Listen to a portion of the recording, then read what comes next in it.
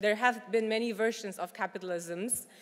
And the current iteration we're in is generally sort of a, a, a, the, the, Friedman uh, capitalism, which is the 1970s Friedman doctrine. And they, it already sort of acknowledged that externalities were a thing, but, but uh, the explicit instruction was that uh, businessmen should not worry about externalities, just about profits. Um, well, that didn't make the negative externalities go away. Um, but we know that externality, uh, negative externalities are a thing and we should be doing something about them and I think there's this growing uh, recognition of that. So generally, when we talk about impact capitalism, um, um, it's not like a fully uh, fleshed doctrine. I'm not pretending that, you know, and any of us, I don't think we're pretending we're like have it figured out at like a economics sort of uh, uh, Nobel Prize uh, level, but we're saying that the, the organizing system seems to be good generally we're like talking about the same principles of like supply, demand, human motivation, um, mm, uh, being driven by greed, and often self-interest. We're just trying to say that we can use those mechanisms and create those micro-experiments and create um, um, um, incentive structures that will use exactly the mechanisms of capitalism to drive the type of positive change we want. And it sounds, and, and I think uh, the, the, the, carbon credits market are like one, and there's more examples, but like that's, a, that's, a, that's an example where like that seems to be working, that like we have created something where it, it sort of still feeds into the, like, the, the, the very typical capitalist engine, but it generates positive externalities, and, and there's more examples like that. So that's kind of the idea for today. Other speakers will explore, explore their experiments and their approaches. You know, most people are early, we're early. this is a long-term vision. Um, yeah, it's possible to change the system, and that's why we're here. So who am I? I'm an entrepreneur uh, with some successes and some failures on my account. I'm a founding partner of a venture fund called 50 Years. It's been, so this is, this is kind of how, how I've been portrayed, and, but I see my, I'm also a burner uh, and a very phys uh, sorry, physical active person, and that's kind of how I prefer to think of myself, and I think uh, uh, I'm, I'm, much more interested in, in sort of the, the um, that sort of dynamic approach to life, and, and, and I think there's a lot of um, creative energy that comes from that. So why 50 years? We'll just run through that, we don't have that much time. So 50 years is named after Winston Churchill's essay from 1931. Uh, it was called 50 Years Hence. And it, uh, you don't have to read the essay, although you should because it's amazing, but generally um, it, it, the, the, the, TLDR is we can extrapolate from today into the future. Scientists and technologies will have an outsized impact on how the world looks. Uh, he thought that in 1931 already, sort of beyond even politicians. And then the, the second part of the essay is pretty much talking about, like, uh, about the, the sort of responsibility that comes with, with, with power. And so our experiment is, uh, you know, it's, it's, sort of simple, and then I'll go to like kind of the, the broader vision of it. So it's a pre-seed uh, VC firm, uh, started in 2016 by two Y Combinator alumni, an entrepreneur, myself, and Seth, stay right there. Uh, we, we started with a tiny fund of four, I mean, for a venture fund, it's tiny, of a, a little over four million, essentially emptying our bank accounts and asking all the friends uh, from tech to give us the money. And then um, the, the, the, other funds have, have bigger and have been bigger and we've grown the team and like we've, we've been at it for a few years right now. So our theory of change has been that, um, uh, that we want to back impactful early stage founders. And then the question is why? So, you know, you can focus on many interventions when you're trying to drive change, but, you know, obviously comes from cognitive bias of being a, startup, being startup founders, but startups tend to be incredible vessels for change. They, um, they align incentives very well. There's equity sharing in the team. the, the, it's, it's, sort of the, the process of getting money is, re is relatively like streamlined right now in the startup uh, ecosystem. And generally, startups have speed. So like we've all seen in the sort of you know non-impact world, a team that like starts very small and then within a few years sort of scales globally and has some impact. And then like why wouldn't that impact be positive? So one of the first lessons we learned, you know, two, three years into what we were doing is that um, deep tech um, is really where, uh, where we can have more impact. And specifically translation, which is the process of spinning out of from academia and, and helping more companies um, in deep tech companies get established is like how we can actually drive more of the type of innovation we want. So, you know, some of those slides are long. It's, you can pause if you're looking at online or it's going to be uploaded. So like, don't, don't worry too much about reading them. But generally speaking, um, these are the reasons why like deep tech is where we, where we should be looking. Um, um, you know, if we knew, you know, if there were easy solutions, the general, the, the, the general assumption is like if there were easy solutions to the big problems we all see and get frustrated by and suffer from, uh, it, those easy solutions would have been deployed. So like generally you have to like develop something that hasn't existed before, you have to commercialize it. Governments are bad at innovation, they, they can be better at distribution, you know, tech, tech entrepreneurship in deep tech is where a lot of positive change can come from. It's also uh, extremely impactful uh, to help those deep tech companies uh, uh, sort of spun out of academia, and that's a messy process, and, and, and we have been spending a lot of time on that. So um, uh, we also learn money is not enough, as you know, the money is sort of abundant in the early stage uh, ecosystems. Like support is extremely important, and the type of support we provide actually has been extremely, uh, hopefully meaningful, and we see, you know, that there's so much more we can do. So. Um, uh, you know, why support is um, um, important because it's much harder to commercialize, you know, if you think of like novel therapeutics, if you think of um, a, a, um, a new communication, new satellite communication stack, if you think of clean chemicals or like things that can sequester carbon from, from the atmosphere, like it's, it's not just sort of building what I've done before, B2B SaaS tool and like, you know, kind of, it's, it's, it's the, the level of complexity, it's much harder and the level of coordination and the funding stack you need to get is much, much harder. So those people just need, those founders need more support. And um, yeah, so we, um, early stage investors and like, like us and many other in this ecosystem can be extremely helpful. One thing we notice is extremely important to, to, to, to um, to identify the people who are mission aligned in the first place, because it's very easy to pivot when things get hard, and things get hard almost always. Uh, so generally speaking, when you think of like the Venn diagram of what we do, it's the big problems, um, um, billion revenue potential, deep tech. So essentially, you know, the, the, the Mr. Burns uh, here is, uh, is something that we, um, that we use in this thing we call Mr. Burns test. It's like, you know, is would, it, for now, the types of companies we back, we want to make sure they sort of can, um, um, they, they, they, pass this test, which is, you know, with a greedy sort of prototypical sort of capitalist of Mr. Burns, um, driven only by his self-interest, um, uh, pick, you know, a company or, or, a service because it's, you know, better, cheaper, and more convenient to him. So, like, we ultimately believe, like, there's some kickstarting and helping uh, for, uh, for those types of projects um, uh, and companies in the beginning, but like they will never scale uh, and have like the type of global impact that like we are all looking for um, if they don't have sort of a sustainable engine of, of sort of revenue or, or, or some sort of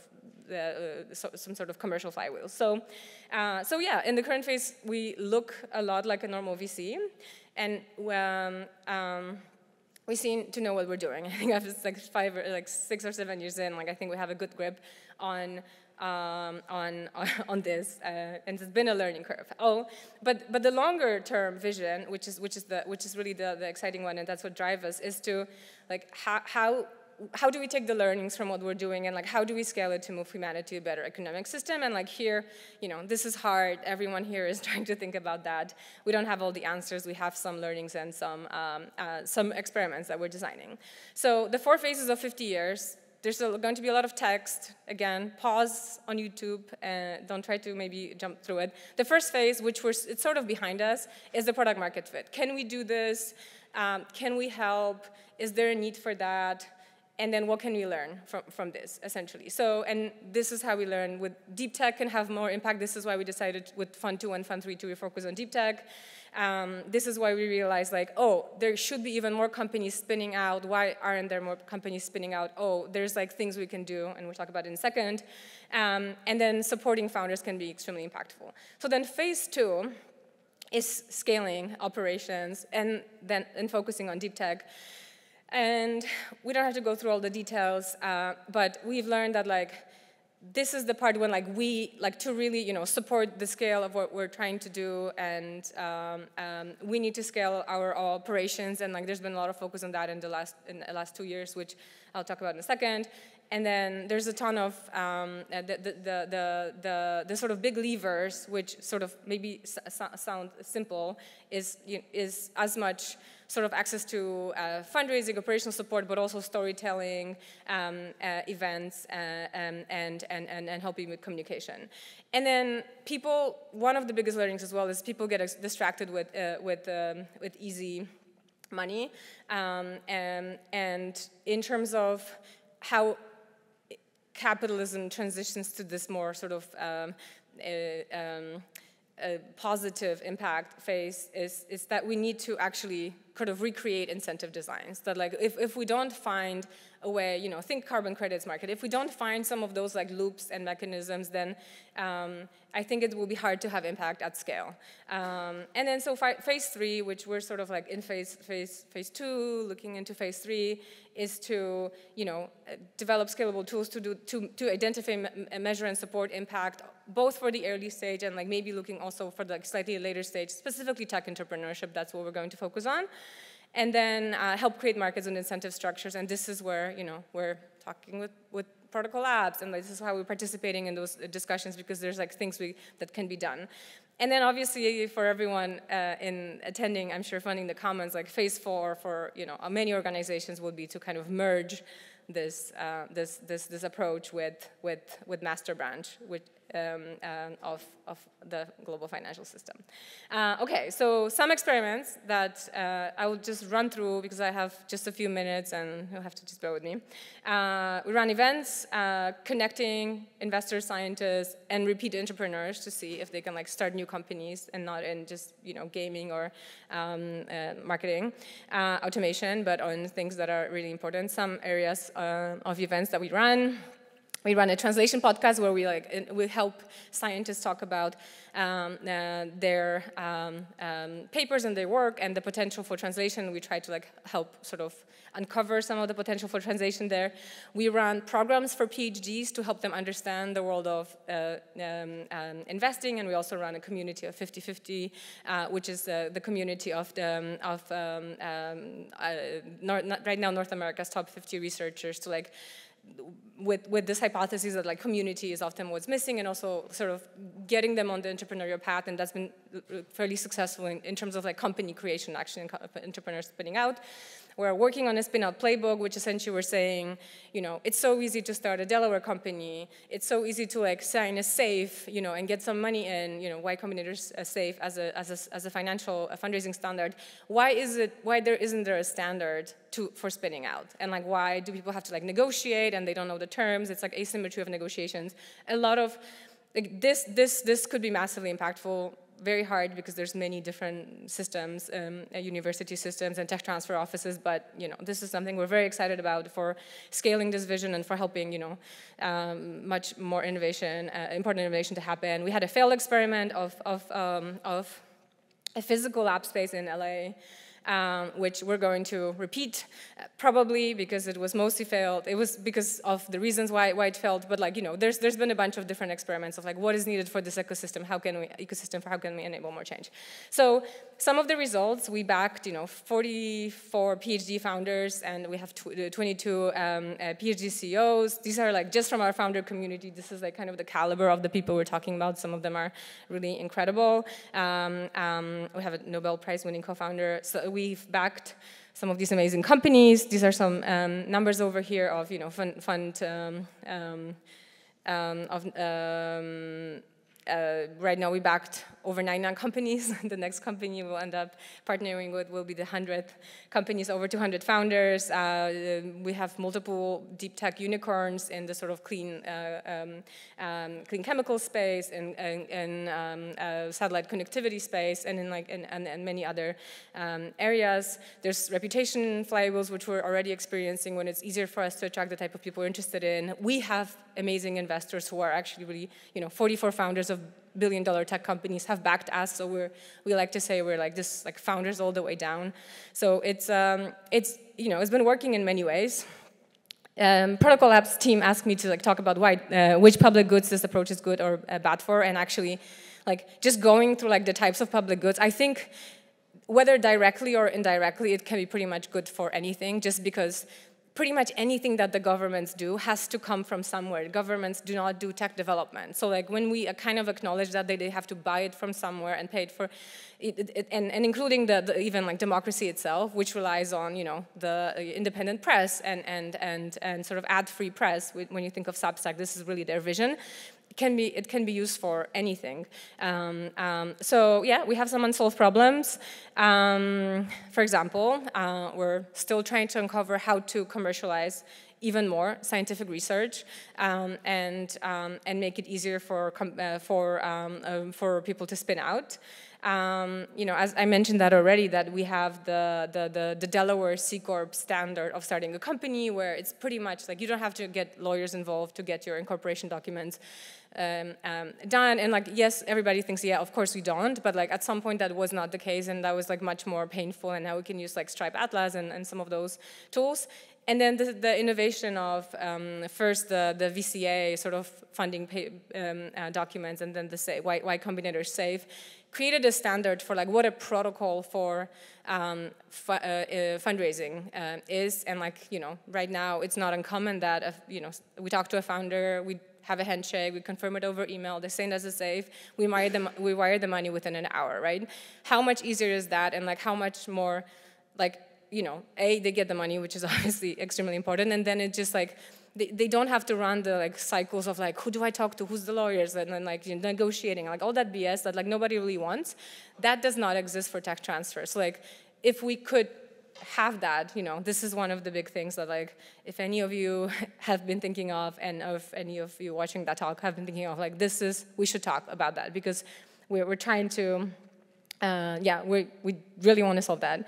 Um, uh, you know, the other uh, challenges is definitely like in terms of liquid returns, um, um, it take a long time. So it's, you know, it's like harder to have a massive, massive um, operations team, which again drives operational efficiency and like productization of some of some of what we're doing. But like definitely that's like you know if if we're talking about like what are some of the unsolved approaches to this, that's that's um, that's definitely um, uh, I think that's on, on our mind. And um, yeah, it's we would love to see, yeah, the, the, you know, we have seen and we have inspired other firms to do this, and this is really our goal. Like, if you want to start a venture fund, start doing exactly what you're doing, please do. we can help you.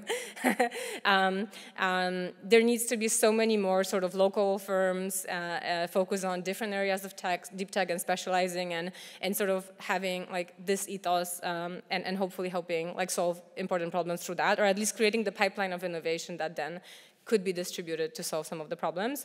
And yeah, we're excited about the, some of the talks today about impact certificates because this definitely, you know, we see some of the, like we see already that there is going to be, you know, for for the all the all the um, uh, climate tech companies that we've backed, and we backed quite a few, like they will be able to use, um, um, you know, right now they're in like the technology uh, validation assessment stage. Some of those companies are generating revenue, but it takes time to get certified. Um, so, but hopefully that can be brought um, um, into the present. But in other areas of sort of positive impact, there isn't a way to essentially get additional um, revenue or credibility. Um, um, yeah, so I think the impact certificate work could be extremely impactful. So anyone working on impact certificate work, I mean, I, I know some of you, some of you, uh, but if um, uh, also talk to us, like how this could be, how this could be um, uh, used in an early stage um, ecosystem. Yeah, and I think this is kind of all I have. I'm very, uh, I, sorry, I sprinted through it, but this is kind of the time I have. Thank you so much. If, uh,